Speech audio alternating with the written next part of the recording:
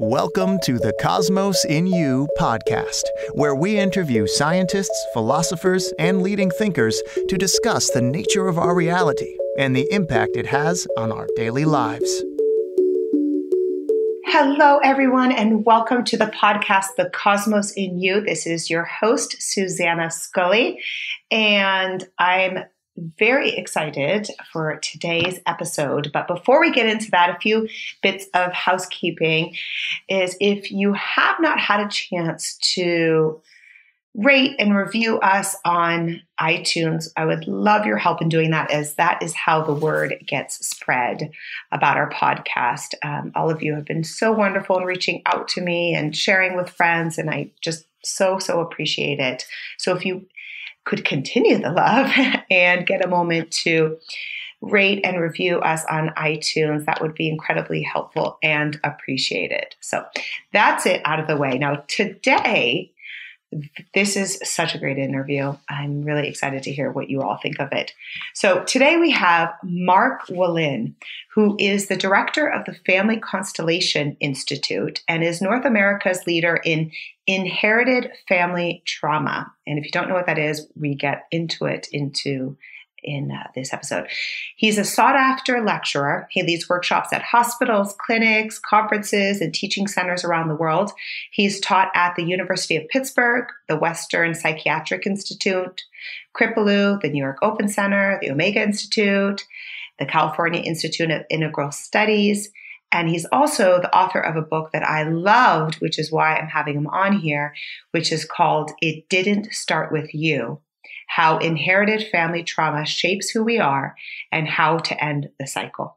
So, Mark specializes in working with depression, anxiety, obsessive thoughts, fears, panic disorders, self injury, chronic pain, and persistent syst- symptoms and conditions. So, and let me tell you, this work is not just for ex, you know extreme situations. This is for all of us and literally every single one of us can benefit from this and um, in some way has some form of inherited family trauma. So I'm really looking forward to all of you experiencing this. So on this podcast, we discuss Mark's own trauma story of overcoming the loss of his eyesight, how inherited family trauma shapes who we are, the three steps people can take to end the cycle of trauma, and finally, you know how we all love uh, the science here at Cosmos in You. So he talks about the science and evidence behind inherited trauma. This is not just something kind of made up. There is real science in the last 10 to 12 years behind the work he's doing that is just incredible. So if you are curious about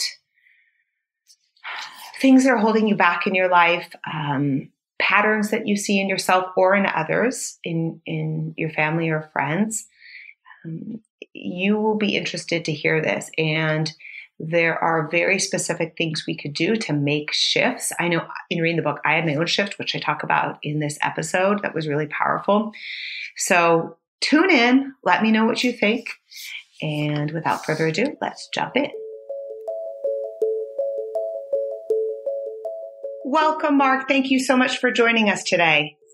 Thank you for having me, Suzannah.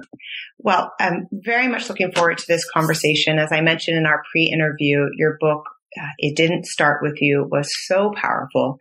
And I can't wait for my listeners who have already read the book or who have not yet to experience it. So I thought maybe we could get started by telling us a bit about your background and, and how you got started into this work what set me on the path uh, was also trauma.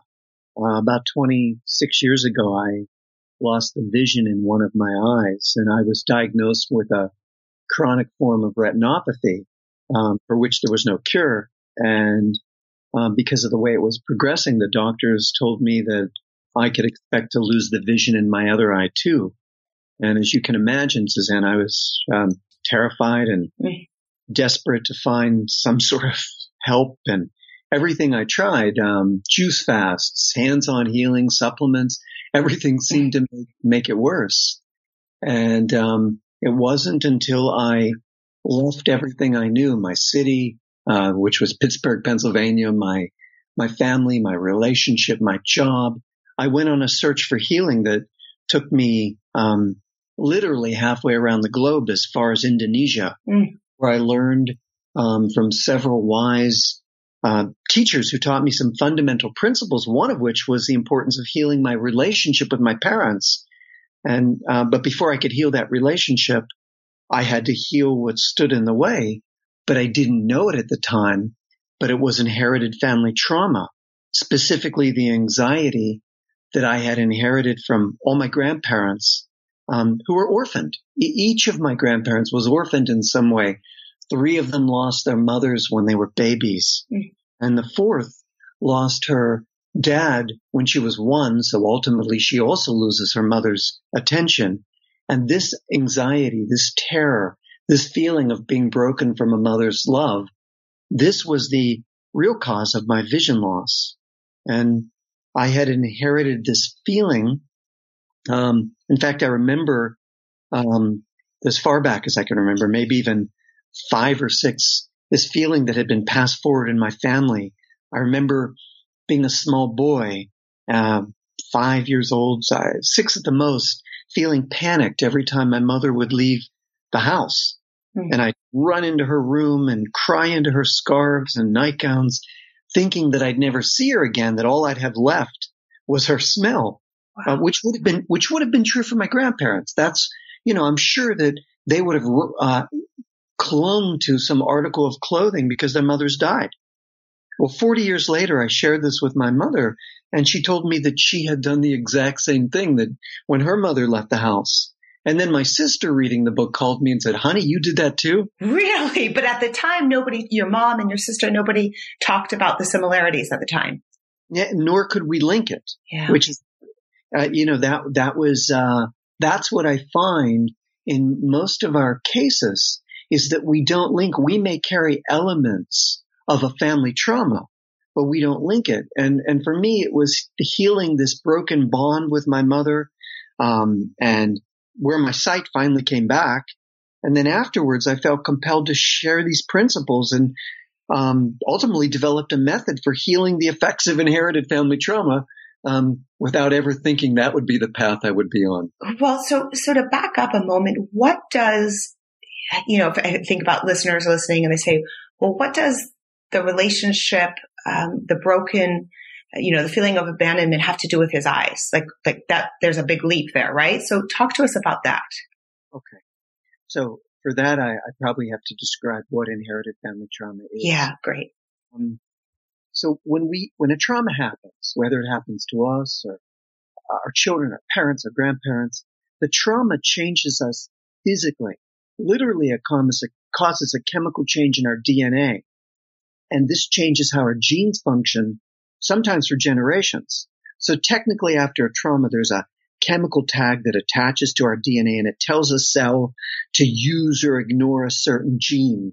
And then the way, the way our genes are affected changes how we act or feel. For example, we be, can become reactive or, or sensitive um, to a situation that's similar to the original trauma so that we can deal with it better.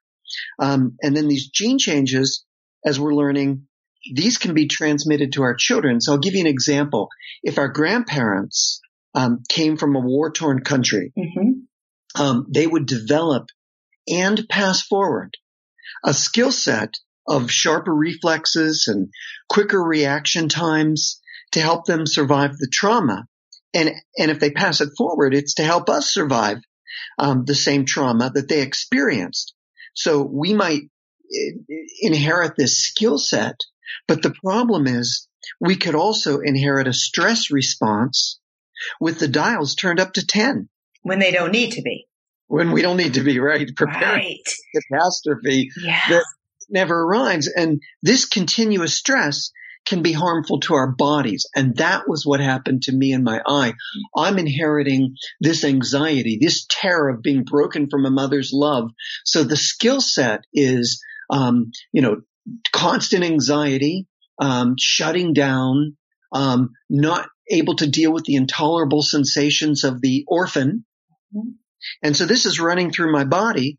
And not only does it get re-engineered when I'm small, which we often see, um, that if we have, if our grandmom has a broken bond with her mom mm-hmm. and our mom has a broken bond with our grandmom, we often have a broken bond for a number of reasons. Number one, it can be re-engineered because how can our mom give what she didn't get? Yep. But often we see a re, um, uh, a reliving or a re-experiencing of these traumas as though there's an ancestral alarm clock in our bodies that starts ringing. I love that expression. I know you talk about that in the book and I've seen you talk about it in interviews. Let's just for a moment. Ancestral alarm clock. Tell us what that means. Okay. So, um, there are, the way I like to describe it is there are signs, um, that we too, um, can be, um, affected by inherited family trauma without knowing. And people say, well, how will I know? And I say, well, there's often signs, meaning that we can be, um, uh, we can experience a fear or a feeling, um, or an anxiety or a symptom that strikes suddenly when we reach a certain age or when we hit a certain event or milestone in our lives. For, it's as though that ancestral alarm clock starts ring, ring, ring, ring, ring. Right. For example, when we're age 30, we start to pull away from our partner and we don't realize it because we didn't make the link, but that might be the same age that our grandmom became a widow mm. and spent the hmm. rest of her life alone or our mom and dad divorced. Um, so not only is it ages, which can um, happen, but it's also when we go to get married or when we have a child or when we first get rejected by someone or we move to a new place. I, I one time worked with this woman. Um, she was consumed with anxiety as soon as she became a new mom. Now she had never had anxiety prior to that. Mm-hmm. So the trigger event was she became pregnant. So asking her some of the questions I outline in the book, I asked her, um, uh, well, we discovered that it, she had a terrible fear of harming her baby. Okay. So I asked her, did you ever harm a baby? And she said, no. And I said, did anybody in your family ever harm a baby? And she said, no. And then she said, oh, oh my. When my grandmother was a young woman, a newlywed, she had a newborn baby and she lit a candle and the candle caught the curtains on fire and the house caught on fire and the baby was upstairs and she couldn't get the baby out and the baby died. And then she said, but we were never allowed to talk about it. You never mentioned this to oh. grandma. And this is the fertile ground when we have these events that we can't talk about. When we have events with that there's a lot of, um, uh, silence around. Dad comes back from war. Um, mom has a fam, a, a trauma or there's a family secret. These are the events that often, um, uh, are ripe or create fertile ground for this reliving. So once we knew that this woman was experiencing her grandmother's trauma, but it wasn't hers, mm-hmm. but it was regenerated, re-instigated, uh, uh, came alive as soon as she went to have a baby, then we could work with it and we could, um, uh, heal help her heal the effects of, uh, so, so the outcome was she could be a calm, stress, yes. stress free mother, which was, which was quite helpful for her. So are the signs for this inherited family trauma, are they, the signs always the same? Do they manifest differently in different people depending on the situation? Yes, they're always different. They're okay. always different. I once worked with this woman, um, who attempted suicide two, two times in her life and she came to me with um, deep depression and and I said, well, let's go back to these suicides. When did they happen? And she said, funny you mention that. The one time happened when I moved to Kentucky and the other time happened when I moved to Georgia. And I asked the question, how soon after you moved to these places did you have this deep um, uh, depression, this feeling to take your life? And she said, Oh my goodness, it was six months after I moved each time. So now we have some clues, right? We, what I call core language um, we have some clues that don't really make sense, but they make perfect sense. That she moves to a new place and six months after, so I, doing what I do, which is I collect the clues or the signs when I work with people, what I call core language, I said to her, what happened six months around six months after somebody moved to a new place? And she said, Oh my goodness. When I was little, four years old, we moved into a new house and my older brother was six years old and he got off the school bus and got hit by a car. Hmm. So when you put the pieces together, that was what would have broken the family's heart, would have broken her mother's heart, broken her heart, and she would have now in some strange reliving six months after she moves to a new place, she tries to repeat the death of her brother. Oh, not, well, not anymore, right? Right, right. And so it can be healed, healed, which is what's so incredible about this. Um, exactly. Once we can find our trauma language, which is um, people will find when they read the book that I ask many, many different questions to help them elicit this uh, trauma language that we all carry. Um, and once we find it and learn how to link it, then we can, once we make the connection, it's like finding the missing piece of the puzzle that lets the whole picture come into view and finally gives us a context that explains why we feel the way we feel. And then the, you know, in the first half of my book, I teach people how to be detect detectives. Yeah become a detective of your trauma language and then you become a detective of the traumas in your family history. And then the last half of the book, I, I um, teach the practices of neuroscience, how to have a new image, a new experience that can help people pull traction away from that part of the brain that's always spiraling the, the limbic loop, the trauma loop, you know, that, that part of, um, um, our brain that's um, highly developed in terms of protecting us. So in other words, when there's something terrible happening, the brain says, be careful, be careful, be careful, be careful. And it also, yeah, it, it is creating fertile ground for this type of reliving. So we need to have experiences that pull traction or energy away from that part of the brain and then bring energy to new parts of the brain so we can heal, particularly our prefrontal cortex. So if somebody's listening, there's, I imagine there's two scenarios that I, in our listeners that I can imagine and maybe both exist at the same time. One is that a listener is experiencing anxiety, depression, fears, um, etc. on, on, on their own end. And so there's that path. How do they start to heal that? Then the other path is that they've experienced trauma in their own life, in, in, in this, in their, you know, it's, it happened to them and maybe now they're having children themselves. So perhaps I could start with the second example is if, if there's a scenario where you've experienced trauma in your life, perhaps it could be, you know, when you lost a sibling when you were a child or, you know, any uh, example. How do you use this work to begin to heal that trauma so that you don't pass it on to your next generations? It's a great, it's a great question, Suzannah. So let's take the woman who did not, could not. She was too young. She was 4 mm-hmm. when her brother died. Yeah. this terrible trauma in her family. She would have at that point lost her mother's attunement. Yeah. She's a, four year old little girl and her mother would have been forlorn and grief struck at the death of her older brother.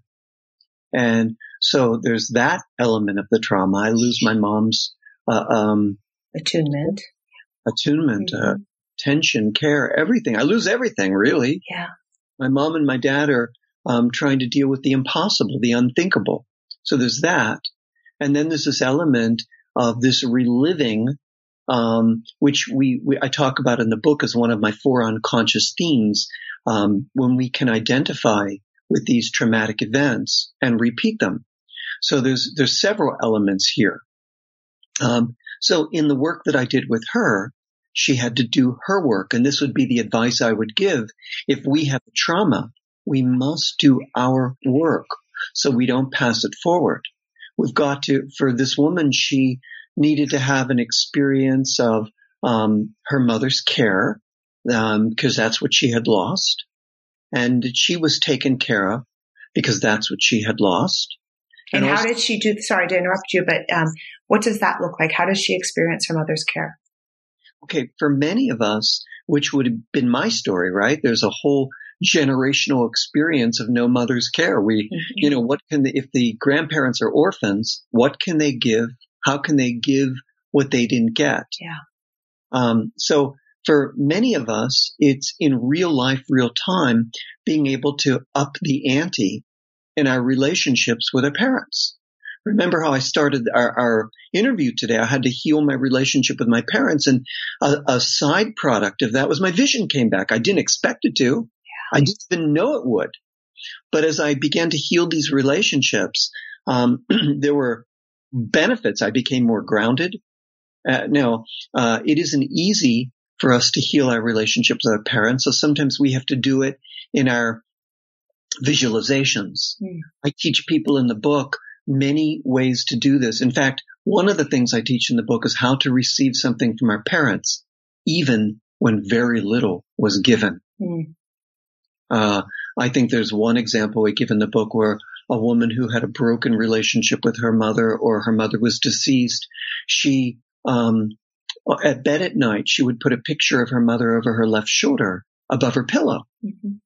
And she would say, you know, mom in life, uh, you know, we weren't very close, but she said to her mother something like, um, mom, please come to me at night and hold me in my sleep. You know, her mother was deceased now that I remember the case and, um, help repair the bond that broke between us so I can feel safe. Mm. And then she added other words like, mom, teach me how to trust your love, how to receive it, how to let it in.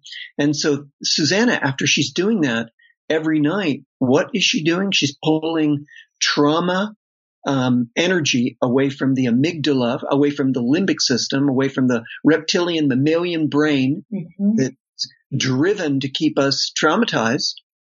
And she's pulling engagement to the prefrontal cortex where we can integrate and heal and ultimately develop new neural pathways. So when she does this and she's, we know now the new science is telling us that when we visualize an experience, our brain doesn't know the difference because the same regions of the brain activate and light up the same neurons, whether we're reliving, I mean, whether we're visualizing or actually living it.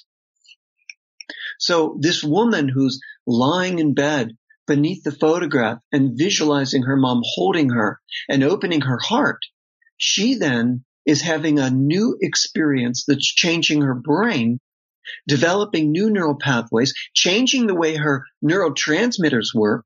Because when we do that, we can stimulate the release of uh, feel good neurotransmitters like GABA, dopamine, serotonin, and even feel good hormones like oxytocin and estrogen. And, and what I'm interested in is we can then change also the way our genes begin to function. Um, the, the very genes involved in our stress response can begin to develop, improve, function in an improved way. Mm. God, that's just, I mean, it's mind blowing when you know, you sort of say it and it's like, oh, but isn't it? It just, it's just astounding yeah. about the brain nowadays. It's exciting that, that when we do practices, when we have experiences that pull engagement away from the trauma brain and bring it to the other parts of the brain, you know, we can combine it. You know, for example, if I tell people, why don't you put your hand there? We might even bring our non-dominant hand, hand there which increases, ups the ante a little bit by engaging parts of the brain we don't use. Yeah. So there's so many things we know now about healing. And so the effects of inherited family trauma, it is about having a new experience, whether it's our trauma or whether I've inherited the trauma of orphans in my family. Yeah. So, so coming back to this listener who's listening, who's had a trauma in their life, the first thing is they do the work and, and you, you, you, uh, lay that out so beautifully in the book. Uh, is it, am I right to say the second part is they have a new experience? Yes. Is that right? Okay. Beautifully put. Okay. As they do the work, they're gaining a new felt, felt, Mm. firsthand experience in their body. And this new experience has new pra- has new feelings with it, new sensations, new emotions. And the more they practice it, you know, when we talk about Norman Doidge's work, the Yeah. brain that changes itself, you know, when we practice this type of work, Suzannah, um, we create new neural pathways. It goes back to that principle in 1949 by Hebb, who said neurons that fire together wire Mm, yes. so we build this synchron synchronization of new neuro uh, synapses that are that are functioning in a different way because of the healing experiences that we're having and then practicing. And then the third thing to do is talk about these traumas to their children because that was the other part of your question. Mm, Do your do your work. Um, okay, for me, here's what that sounds like. Find your trauma language. Be a detective. Yeah. Go and read the book Yeah. because in the book I teach you how to be a detective of your trauma language. Then link your trauma language, your trauma experience, your unrealized, unexamined trauma language that's always um, ringing. It can be the ancestral language, right? Um, now you want to have a new experience by linking it. Once you link it, then you do your work and have a new experience of healing it, which I lay out in the book. Then talk about these traumas in your family history and talk about it to your children because your children or your grandchildren just might not know. Like I didn't know why I had anxiety every time my mom would leave the house mhm. why my sister would have anxiety, why we would cry into her clothing, why our mother would cry into her mother's clothing. It's so powerful. Now, where this is, I'm going to throw a total curveball here. Um, do past lives play any role in this? Do you believe in past lives? Y- you know, how do we know? Yeah. I mean, what, what you and I believe, what I believe, I mean, really, um, it, it very well could play a huge role. We just don't have the research or the science. Yeah. And, and for me, I'm very science based. In fact, the first third of my book, I go to great lengths to talk about all the epigenetic research done, all the human research and mice research that we know and that, that is, you know, you we know, now know that trauma survivors and their children have the same uh, gene changes in the exact same region of the exact same gene. Mhm. Technically, the FKBP5 gene for all those of your listeners who Right. love the gene. So really, I, I try to stay as close to the science as I can, um, I- because there's so many things that are out now that are said, "Oh my goodness, we didn't." You know, the science is new. Yeah. We didn't know this 10 years ago.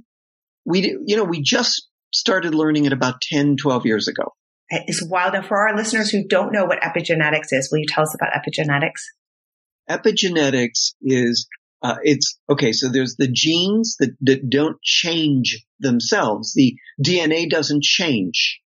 So for example, the DNA sequence stays the same, but when there's been an experience, a, it- whether it's a trauma or a um, nutrient or an environmental um, uh, uh, insult in some way, the epigenetics, the above the genes, can change the way that the genes begin to express. So, for example, um, they know from mice studies that um, here I'll tell a mice study that's very interesting. Now, mice share 99% of the genetic makeup as humans. So if a human has something like 30,000 genes, mice have something like 29,700 that are similar. So in one study at Emory Medical University in Atlanta, they took male mice and made them afraid of a particular scent, a cherry blossom scent. Okay. And the way they did that is they shocked the poor little mice every time they'd smell the smell. And then they found epigenetic changes in the brain of the mice that are designed to protect them and the next generation. For example, they found enlarged areas in the brain where there were a greater amount of these smell receptors that could detect the scent at lesser concentrations that, that would, um, pr- protect the mice whenever they'd smell this scent. But it also passed down this change, this epigenetic change.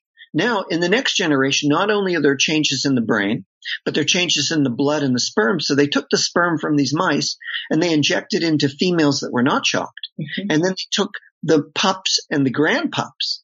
And this is the most amazing part of the study. The pups and the grandpups in the next two generations, for three generations, became jumpy and jittery every time they smelled the smell without being shocked. So they inherited wow. stress response like we do without directly experiencing the trauma. Wow. So go, going back to my eye and my story, I had inherited my grandparents and my mothers and fathers because there were all the grandparents were orphans. I had inherited the stress response, but, but I'm not orphaned. Right. You see? Right. Yeah. Gosh. So again, imagining our listener, I mean, I just take myself, if I think of, you know, on both sides of the things that happen. And I think it's, tell me if it's fair to say, it seems that in generations past, they, they seem to have had, you I don't know if this is fair to say, but harder lives than we did, for example, right? Like there was more immigration into the country. There was more, um, beginnings. There was the depression. People died younger. Medicine, you know, again, that may, may be me generalizing. I don't know if that's fair to say. Seems like we have it maybe a little bit easier now. Is that fair to say? I, I don't because, you know, we could argue also, um, uh, you know, our country kind of has it, e- ha- has had it easier, yeah. um, but not so much other countries. That's but true. also we, we have breaks in the bonds from our moms maybe going to, um, uh, um, maybe, maybe back in the day, that we're talking about. Maybe moms put more attention and attunement mm. um, with their babies that we don't see now. That's true. So, so we don't know. I mean, it's hard to say. I think we're lucky in all areas yeah. that we'll always have enough trauma. Right. There's enough for everyone. and everybody gets to feel something. Yeah. Yeah. And that's, well, that's another question is that um, is this inherited family trauma? Is there anyone listening that doesn't or will not have any trauma?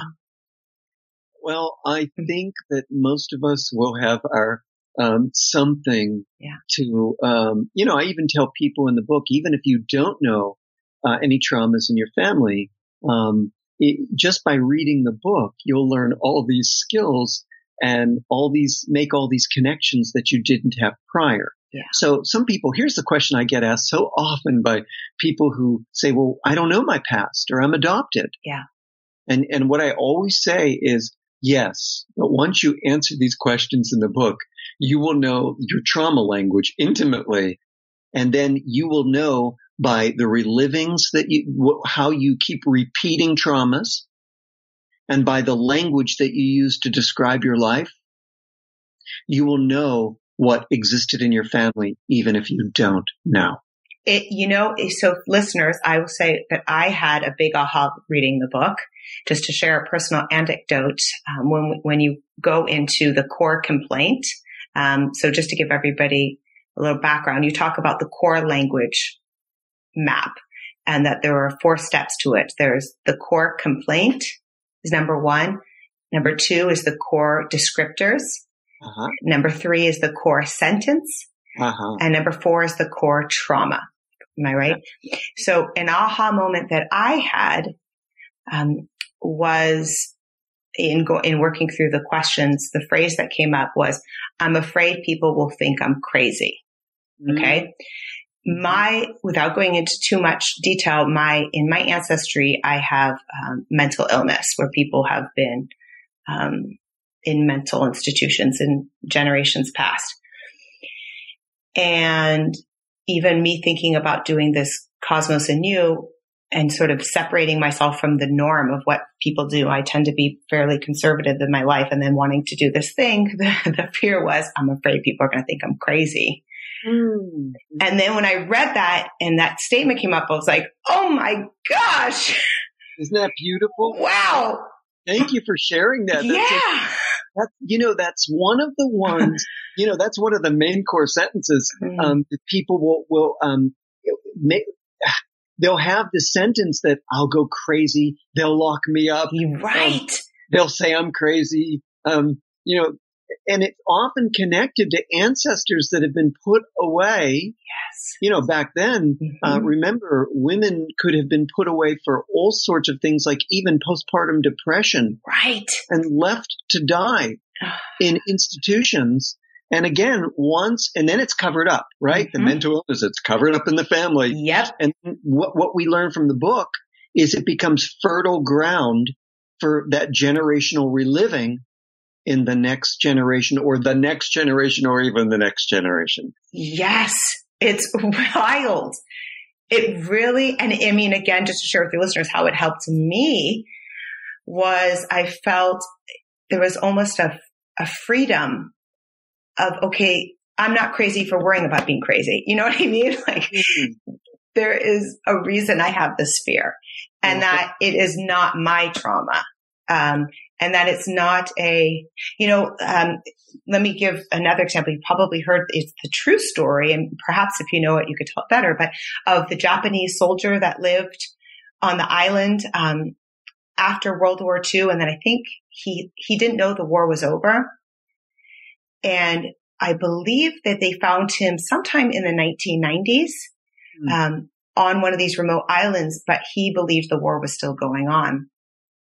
And they ended up giving him um, all these, you know, awards and medals and all this. But, but it, it goes to show what is happening to a lot of us is that we're operating as if the war, I put that in quotes, right? Whatever that is, is still happening and nobody clued us in that it's not happening anymore, It's such a good analogy. right?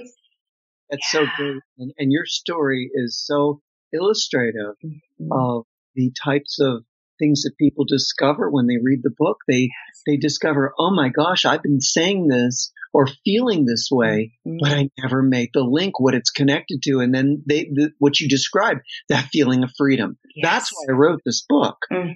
I wrote this book for people who are struggling with things that they had no idea that they're struggling with and that they, um, they don't know where to turn Yeah. because in the past therapy did not look you know this is a brand new field bi- biologically inherited trauma this is a new field so people didn't know where to turn the other reason I wrote this book is I wanted to generate awareness in the therapeutic community about the impact of epigenetics Mm. because I want to see this field grow. Mm. And I wanted people to have the tools that I lay out in the book so so you so we can heal. Yeah. You know, one other scenario that can come up, um, for example, I'll see, uh, I'm a mother, a mother of two, an eight year old and a five year old. And, um, if I see things in them, so kind of, again, common core things, like my daughter will say a lot, everybody's mad at me or something like that, some iteration of that. Like, where is this coming from? How do we start to explore that? Um, I guess I, and maybe I'm answering my own question is that we kind of become the detective, right? For Yeah. our family and our um, significant other's family and sort of start to piece it together. Yes, yes, Yeah. exactly. You answered the question.